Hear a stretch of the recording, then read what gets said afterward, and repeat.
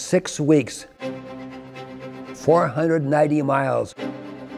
The skis of three men tracing a line never before drawn.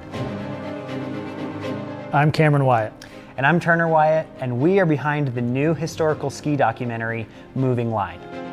Half a century ago, three men set out to ski across Colorado for the first time.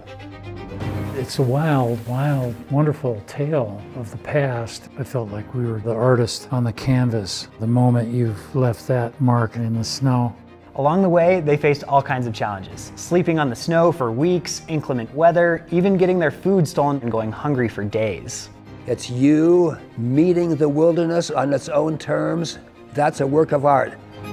We're lucky to have access to hundreds of original photographs that the team took from their expedition.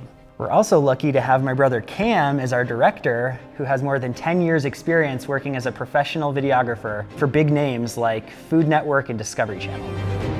With the funding that we've received so far, we've been able to process some of the photos and record some key interviews. We've also been able to get into deep, remote parts of the backcountry to film areas from along the route. But we still have a long way to go.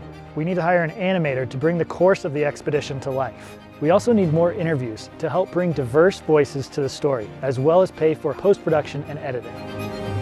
That's where you come in.